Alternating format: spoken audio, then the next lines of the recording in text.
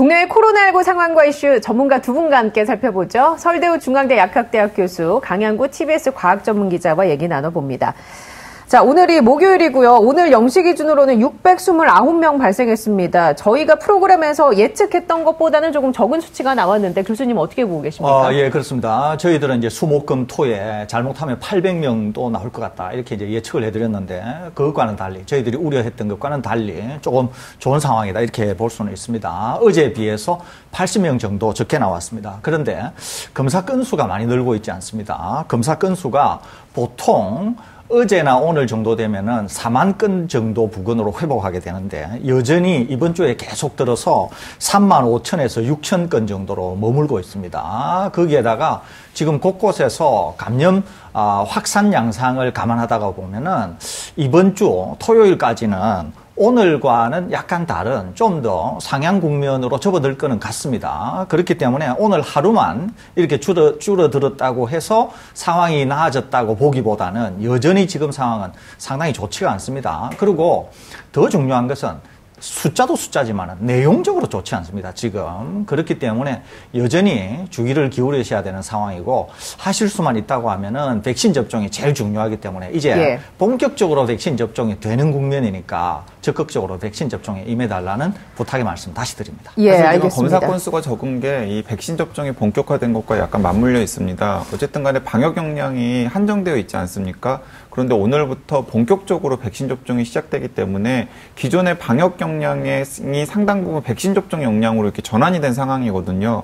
그렇기 때문에 당분간은 검사 건수 자체가 정체될 가능성이 크고요. 그래서 실제 지역사회 감염 양상보다 확진 환자 숫자로 나타나는 것은 조금 더 제한적일 가능성도 있습니다. 그 방역 역량이라 함은 예를 들어서 뭐 어, 조사 같은 걸 한다든지 여러 가지 투입됐던 인원이 접종 쪽으로 빠진다는데 맞습니다. 기본적으로 예. 이 접종 접종과 관련해서 그 할당되는 인력이 방역 인력과 겹치는 부분들이 굉장히 많이 있거든요. 예를 들면 당장 보건소 인력만 해도 그렇습니다. 그렇기 때문에 지금 상황이 어 가시적으로 나타나는 확진 환자 숫자보다 오히려 더 안 좋을 수도 있다라는 상황을 염두에 두고 어, 생활 방역에 임하셨으면 좋겠다라는 생각이 듭니다. 알겠습니다. 자, 오늘은 시청자분들이 유튜브를 통해서 질문을 주셔가지고요. 그 질문 몇 가지를 좀 해결을 해보고 백신과 관련된 이슈들, 예를 들면 뭐 돌파 감염이라든지 혈전과의 연관성과 관련된 연구라든지 이런 것들 좀 살펴보도록 하겠습니다.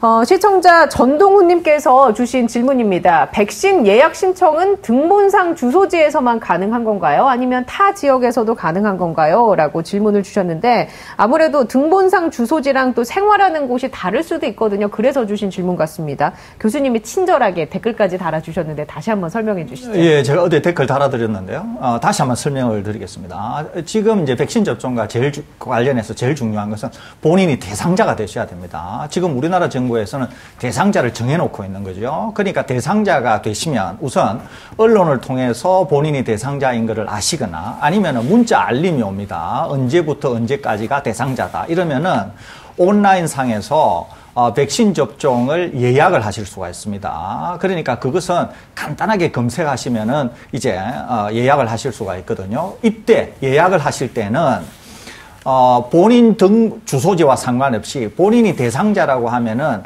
본인이 가장 어, 쉽게 접종을 할 수 있는 곳을 선택을 하시면 됩니다. 그렇기 때문에 등본지 또는 주소지와 전혀 상관없이 예약을 할 수 있다고 하는 점 하나 알려드리고요. 또 노쇼 내지 자녀 백신을 접종하는 것과 관련해서도 마찬가지입니다. 이때는 본인이 대상자의 여부에 상관없이 이제 노쇼 백신이나 자녀 백신을 이제 접종하실 수가 있는 거죠. 이때는 이제 저희들이 알려드린 그런 이제 카톡이나 이런 알림창을 통해서 어, 확인한다, 확인하신 다음에 예약을 하시면은 그쪽에서 예약이 되셨다. 접종을 언제 하실 수 있다라고 하는 통보를 받으시면은 그때 가셔서 접종을 하시면 됩니다. 이때 노쇼나 자녀 백신에 대한 아, 접종 예약을 했는데 혹시 또 일이 생겨서 본인이 못 가시게 되면 본인이 다시 노쇼를 하게 되는 거 아닙니까? 그럴 경우에는 연락을 하셔서 못 가게 되었다. 이렇게 취소를 하셔야 다른 분에게 배정이 될 수 있거든요. 이런 점만 주의하시면 될 것으로 생각이 듭니다. 예, 노쇼나 자녀 백신 얘기도 해 주셨는데 이런 댓글이 달렸습니다. KLKLKL님께서 노쇼 백신은 제가 위치한 곳에서 가까운 곳이 유리할 것 같은데 이게 혹시라도 주소지 가까운 곳에 곳에서만 가능하다고 하면 멀리 사는 사람들, 직장이 멀거나 아니면 주소지와 다른 곳에 사는 사람들은 분리할 수 있을 것 같은데요. 라고 주셨는데 이건 그럼 아닌 건가요? 네, 아닙니다. 설 교수님께서 예. 방금 잘 설명해 주셨듯이 이제 노쇼 백신을 접종하는 곳은 자기가 지금 있는 곳에서 가장 가까운 병원이나 의원에 가서 노쇼 백신을 접종할 수가 있습니다. 그렇기 때문에 뭐 자택에 계신 분은 자택 근처 혹은 직장에 있는 분은 직장 근처 혹은 출장에 다니신 분 같은 경우에는 뭐 출장지 근처나 외근지 근처에서 접종을 할 수 있기 때문에 주소지랑은 전혀 상관없다라는 예. 거 다시 한번 강조드립니다. 이제 오늘부터 네이버나 카카오 앱을 통해서 그 자녀 백신 물량을 조회하고 당일 예약으로 접종까지 받을 수 있게 되는 거잖아요. 지금 활성화가 되어 있습니까? 아직은 활성화가 안 되고 예. 있고요. 오늘 오후 1시부터 그 네이버라든가 카카오에서 활성화가 될 예정입니다. 그런데 이제 한 가지 정보를 알려드리자면 일단은 네이버나 카카오를 통해서 1시부터 인근 병원이나 의원의 이 자녀 백신, 그러니까 노쇼 백신의 물량을 확인해서 예약을 하거나 선착순으로 찾아가서 백신을 접종할 수가 있고요. 어, 제가 지금 확인한 바에 따르면 이미 제 지인들 중에서는 지금 아스트라제네카 백신을 접종하고 있는 동네 병원이나 의원에서 이미 노쇼 백신이 나오고 있다고 합니다. 아, 그래요? 그러니까 왜냐하면 아침부터 접종을 시작한 병원이나 의원들 같은 경우에는 어, 10명이나 12명을 염두에 두고서 오픈을 했는데 7명이나 8명만 오고 3명이나 4명이 오지 않으면은 그 백신을 지금 폐기해야 되니까요. 점심 때쯤 되면 예. 이제 폐기해야 될 상황이 되는 거잖아요. 이제 그렇기 때문에 이미 노쇼 백신이 있는 상황에서 오는 분들에게 선착순으로 접종을 하고 있다라고 합니다. 그래서 지금 방송을 보시는 분들 중에서 노쇼 백신을 접종하시고 싶은 분들이 있다 그러면 예, 동네 병원이나 의원들 중에서 네. 아스트라제네카 백신 접종을 시작한 곳들에게 확인을 해보거나 1시부터 활성화가 되는 네이버나 카카오텍에 노쇼 백신 현황을 좀 예의주시하다 보면은 오늘 내일 사이에 접종을 하실 수 있으리라고 생각합니다. 저도 이거 좀 해보려고 해요. 교수님은 언제 하실 생각입니까? 아, 저도 오늘 한번 시도해 볼 생각입니다. 예, 알겠습니다. 같이 좀 맞았으면 좋겠네요. 예. 그런데 30세 미만은 아스트라제네카 백신을 권장하고 있지 않아서 맞을 수 없는 거죠? 네, 맞을 수 없습니다. 이제 날, 그, 이제 일시를 정확하게 말씀을 드리면, 1992년 1월 1일 이후에 태어난 분들은, 어, 아스트라제네카 백신을 안타깝게도 접종을 할 수가 없습니다. 그러니까 제가 그 1992년 1월 1일, 1월 1일 이후에 태어난 분들이 굉장히 부러운데, 젊으니까요. 그런데 이 대목에서는 별로 부럽지가 않더라고요. 백신을 못 맞으니까. 백신을 못 맞으니까요. 네, 그래서 예. 정부에서는 이분들은 이제 화이자 백신을 네. 접종할 수 있잖아요. 그래서 화이자 백신 같은 경우에는 아스트라제네카 백신에 비해서는 그 예방접종 센터에서 접종을 하고 있기 때문에 노쇼 백신 물량이 그렇게 많지는 않은 것으로 보입니다. 네. 근데 그럼에도 불구하고 화이자 백신 같은 경우에도 이런 식으로 이 네이버나 카카오 앱에서 자녀 백신이 떠서 이런 20대들의 경우에도 아스트라제네카 백신을 접종하지 못하는 20대들의 경우에도 화이자 백신, 노쇼 백신 물량을 접근할 수 있도록 지금 보완할 예정이라고 하니까 좀 기다려 보시면 될 것 같습니다. 이게 30세 미만이 아스트라제네카 백신을 맞지 못하는 이유가 혈전과의 연관성 때문에 그런 거 아니겠습니까? 네, 그렇습니다. 근데 이제 사실 이제 이것도 이제 우리 정부가 약간 겁을 먹어서 그런 건데요. 우리나라 같은 경우에는 이 유럽이나 영국 그리고 미국의 얀센 백신에서 일부 나타난 혈소판 감소를 동반한 아주 희귀한 혈전 부작용 사례가 지금 굉장히 많은 아스트라제네카 백신이 접종이 되었는데도 불구하고 한 건도 나타나지 네. 않고 있습니다. 그래서 어, 이미 몇 차례 말씀을 드렸잖아요. 서양 사람들과 동양 사람들 사이에 혈전 질환에 유병률 차이가 있고 그러니까 우리나라는 서양 사람들에 비해서 5분의 1이나 10분의 1 정도로 적거든요. 예. 그렇기 때문에 우리나라에서는 거의 나타나지 않을 가능성- 가능성이 큽니다. 하지만은 이제 예방적인 차원에서 20, 그 20대의 경우에는 아스트라제네카 백신 접종을 지금 중단한 상태인데 어, 아이러니한 것은 처음에 이 문제를 제기했던 독일은 연령 제한을 없앴어요. 예. 아스트라제네카 백신에 이제는 대해서 다 맞을 수 있는 거죠. 다 맞을 수 있습니다. 그러니까 그것도 예. 참이 어처구니 없는 상황을 이제 초래가 한 것이 초래한 것이죠. 관련해서 오늘 오전에 기사가 하나 나왔습니다. 근데 이제 지금 언론에서는 제대로 정확하게 전달을 하지 못하고 있는 것 같아서 저희가 좀 정확하게 과학적인 지식을 기반으로 해서 정리를 해드리겠습니다. 어떤 얘기냐면 독일의 연구진이 아스트라제네카 백신 그리고 얀신 백신 부작용 중 하나로 꼽힌 지금 얘기해주신 혈전 과 관련해서 원인을 밝혀냈다고 하던데 이게 어떤 내용입니까, 교수님? 아, 이 과학적으로 너무 복잡해서 이걸 예. 설명을 드리는 게 좀 한계가 좀 있을 것 같은데 내용상 이런 겁니다. 아, 한국의 언론을 보고서는 제가 도저히 이해가 안 돼가지고 예를 들면 이런 오늘 거예요. 아침에 나온 보도가 이해가 안 그렇습니다. 보도가 이해가 안 돼가지고 예를 들면 이런 거죠. 1 더하기 1은 2잖아요. 그런데 이제 언론에서 얘기한 내용은 1 더하기 1이 5다 이런 내용이었어요. 그래서 제가 도저히 이해가 안 돼가지고 예. 대기실에 기다리면서 한 10분 정도의 시간으로 논문에 직접 들어가 봤습니다. 논문에 직접 들어가서 논문을 아예 읽고 제가 방송에 들어왔는데요. 그러니까 이제 과학자가 과학 기사를 이해를 못 하는 거죠. 예, 내용상 이제 이런 겁니다. 내용상. 이제 얀센이나 아데, 아, 얀센이나 아스트라제네카는 벡터로 아, 스파이크 단백질의 정보를 이제 세포 안으로 집어넣습니다. 그러면은 바이러스 기반이 정보를 이용해서 세포 안으로 정보를 집어넣으면 이 정보가 어디까지 들어가느냐 하면 핵 안으로 들어갑니다. 핵 안으로 들어간 다음에 세포 핵 안으로요? 세포의 핵 안으로 예. 들어갑니다. 세포의 핵 안으로 들어간 다음에 전사라고 하는 과정을 통해서 mRNA를 만들게 돼요. 이때 만들어진 mRNA는 화이자 백신의 mRNA하고 똑같습니다. 그런데 핵 안으로 들어간 mRNA는 핵 안에서 어떤 과정을 거치면서 쪼개질 수도 있고 안 쪼개질 수도 있어요. 그런데 확인을 해보니까 연구진들이 확인을 해보니까 아스트라제네카와 얀센 백신의 그 mRNA는 핵 안에서 쪼개지는 겁니다. 쪼개져서 안 쪼개지는 부분은 화이자 백신과 똑같이 스파이크 단백질을 만들고 쪼개지는 부분은 쪼개져서 이제 세포 바깥쪽으로 나오게 되는데 원래 스파이크 단백질은 끝부분에 어떤 부분이 있냐면은 어, 세포의 막에 어, 끼어 들어가도록 이렇게 디자인이 되어 있습니다. 원래 이제. 그런데 조금 전에 말씀드린 것처럼 쪼개지게 되면은 어떻게 되냐면은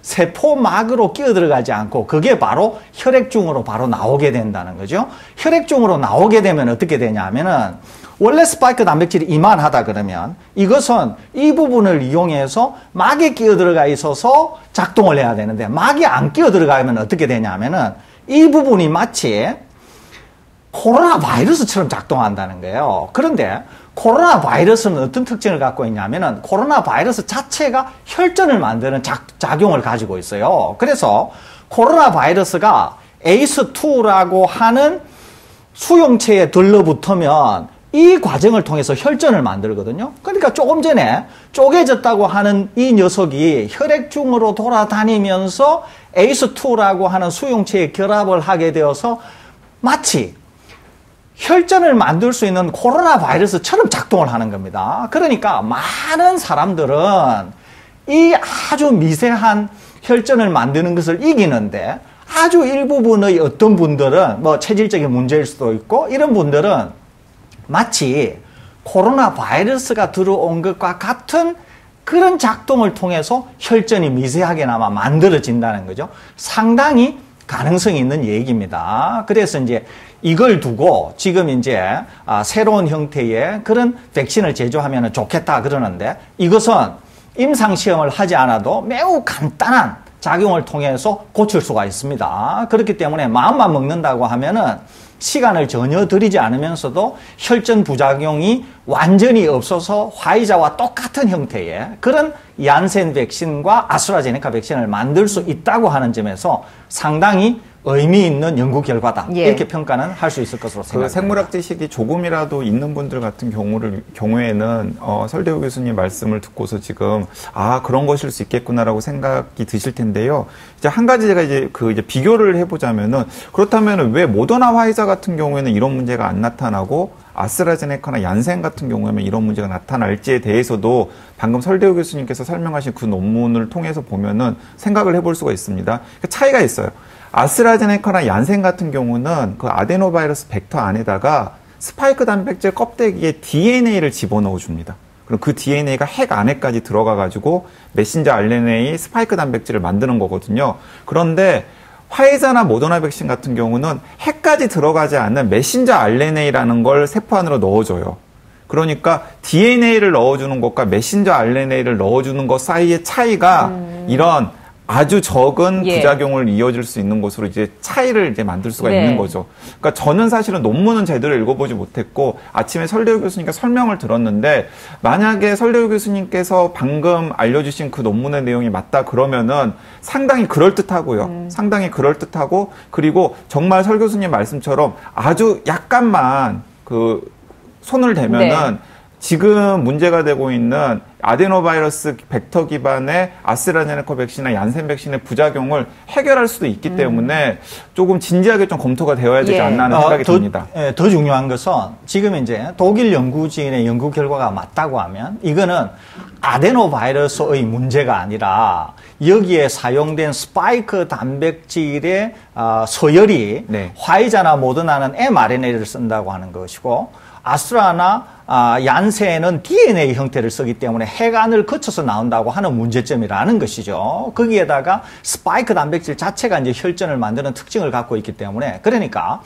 아데노바이러스나 얀센 또는 심지어 스푸트니크의 차이가 아니라 오히려 이것은 핵 안으로 들어가느냐 안 들어가느냐의 차이이기 때문에 만일에 독일 연구진의 연구 결과가 맞다고 하면 많은 것들을 알려주는 그리고 예. 매우 명확하게 아, 지금의 문제를 알려주는 그런 연구 결과다 이렇게 볼 수 있겠습니다. 예, 그 작은 차이 때문에 이런 결과가 나올 수 있다라는 얘기시잖아요. 그렇습니다. 근데 그렇게 되면은 이제 과학적으로 설명을 해주셨는데 뭐 잘 모르시는 분들도 계실 것 같아요. 워낙 과학적인 지식이라서. 근데 이제 중요한 것은 그런 거죠. 이게 밝혀 졌는데 그럼 이런 이유로 아스트라제네카나 얀센 백신을 꺼릴 이유가 없다. 라고 보시는 거잖아요. 아, 지금 당장은 이제 아, 얀센이나 아스트라제네카 백신에 대한 우려가 있다는 거죠. 그런데 적어도 우리나라에서만 하더라도 이 우려는 상당히 왜곡 과장되어 있다 그랬잖아요. 왜냐하면 우리나라에서는 여태까지 거의 400만 명에 가까운 분들이 백신 을 접종을 했는데 우리나라에서는 일단 혈소판 감소를 보이는 혈전증 환자가 한 명도 나타나지 않았거든요. 네. 그러니까 크게 문제가 안 됐는데 이제 유럽이나 미국 같은 경우에는 기본적으로 혈전이 많은 데다가 거기만 하더라도 100만 명 중 한 명꼴로 생기더라고요. 통계를 보니까. 그러니까 기본적으로 지금 우리가 이제 언론에서 얘기되고 있는 경우는 상당히 이제 많이 그 공포가 아, 정폭이 되어 있다. 이렇게 볼 수 있는 거죠. 그러니까 지금의 얀센이나 지금의 아스트라제네카도 위험에 비해서 안전하고 효과적인 백신인 것은 사실입니다. 다만 100만 명 중에 한 명꼴로 지금의 이런 어, 혈전 부작용이 생길 수는 있다는 거죠. 우리나라는 이제 10분의 1이나 100분의 1, 수- 아, 10분의 1이나 50분의 1이니까 심지어는 500만 명이나 1000만 명 중에 한 명이 생길 확률이죠. 그러니까 여전히 지금의 아스트라제네카와 지금의 얀센도 상당히 안전한 백신이다. 이렇게 볼 수는 있고요. 두 번째는 독일 연구진이 얘기한 것을 실제로 이제 적용을 해서 만들게 될 경우에는 그나마 이런 안전성 우려도 완전히 제거할 수 있는 그런 백신을 만들 수 있고 신속히 그런 백신을 추가 임상 필요 없이 만들 수 있다고 예. 하는 점에서 연구의 중요성이 있다. 이렇게 볼 수 있겠습니다. 그러니까 지금 독일 연구진이 확인한 아스트라제네카 백신이나 얀센 백신의 그런 아주 작은 네. 그 화이자 백신이나 예. 모더나 백신과의 차이를 차이. 만들어내는 그 부분이 대부분의 사람들에게는 네. 특히 한국 사람들의 경우에는 더욱더 문제가 되지 않는다라는 겁니다. 음.